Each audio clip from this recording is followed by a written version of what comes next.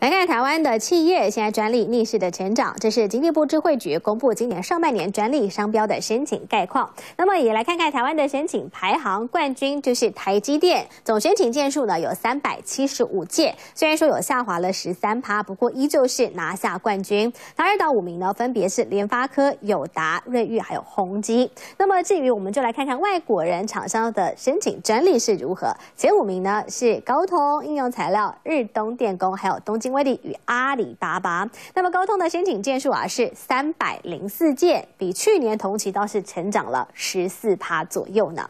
那么现在这一波因为疫情的关系啊，的确对很多的企业来说是大洗牌，像是电视的发展趋势也朝向了高解析跟大尺寸，所以国内的面板双雄在后疫情时代真的抢得先机。友达就推出系列六十五到八十五寸的这种八 K 无边框的超高电视面板，要携手。三星打入全球的顶级市场。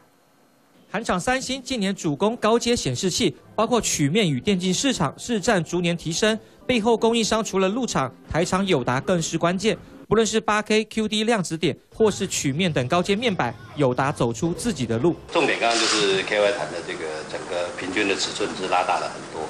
中国大陆它的面板大厂主要是冲量。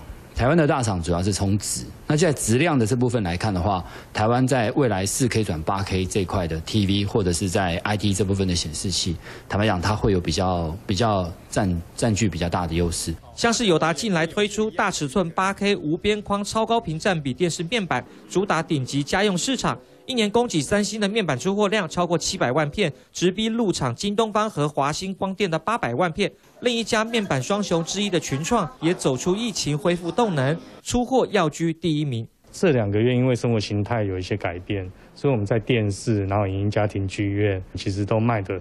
特别好。整体二零二零上半年电视面板出货量年减百分之八点四，面板业好不容易等到第三季价格走扬，再加上全球通路强劲补货需求，有机会转亏为盈。三立新闻。